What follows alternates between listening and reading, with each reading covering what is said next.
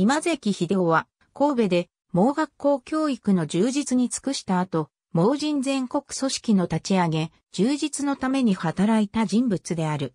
今関秀夫は、1889年7月10日、茨城県東茨城郡、磯浜町で生まれた。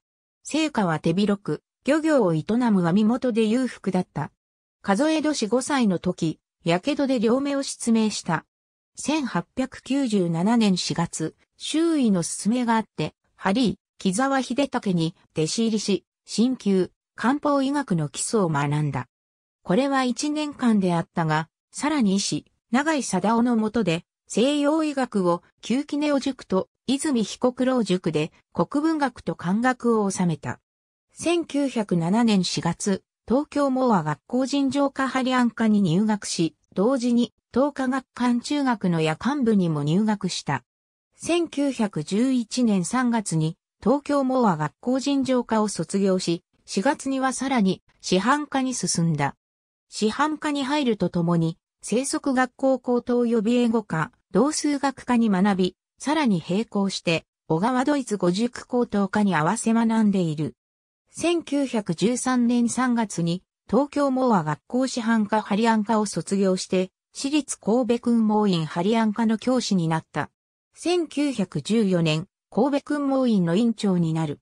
1923年、兵庫県が設立した神戸盲人講演会の会長になる。また、クリスチャンとして日本組合キリスト教会神戸多門教会の会員であった。1924年、神戸盲学校の校長になる。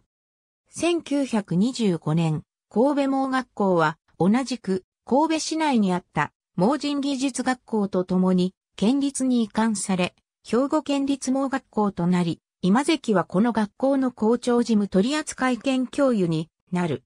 1937年11月には大日本盲人会の結成に参加し、理事になった。1942年11月23日、大日本盲人会の会長になる。1948年、日本盲人会連合の結成に参加し、理事になった。1951年、全国盲学校理療科教員連盟の顧問になった。1952年1月14日、急に容態が悪くなり死去。日本キリスト教歴史大辞典 P509 から510。ありがとうございます。